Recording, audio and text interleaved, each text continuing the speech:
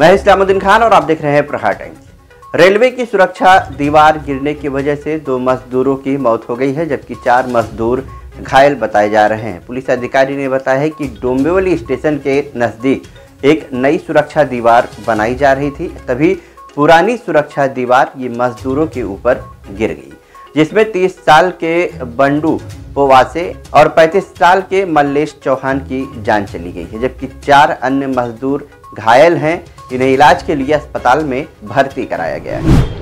कोपर ब्रिजच्या ब्रिजच्या बाजूला सिद्धार्थनगर या ठिकाणी सोळा तारखेला रेल्वेच्या विनंतीनंतर या ठिकाणी बंदोबस्त देऊन या ठिकाणचं अतिक्रमण काढण्यात आलेलं होतं आणि त्या अतिक्रमित जागेतून रिकामी झाल्यानंतर त्या ठिकाणी भिंत बनवत असताना या ठिकाणी एकूण बारा लेबर काम करत होते आणि जुनी भिंत त्या ठिकाणी काम चालू असताना कोसळून चार व्यक्ती लेबर व्यक्ती जखमी झालेले असून एकाचा मृत्यू झालेला आहे आणि सात लोक सुस सुस्थितीत आहेत.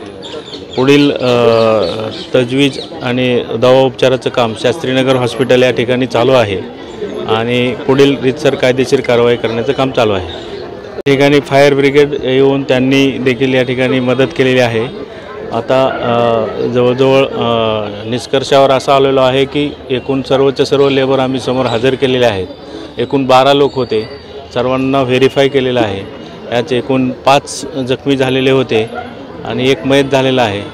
आणि चारपैकी एकाची तब्येत डॉक्टरांच्या म्हणण्यानुसार थोडीशी जास्त आहे. तर ते खात्री करण्याचं काम चालू आहे.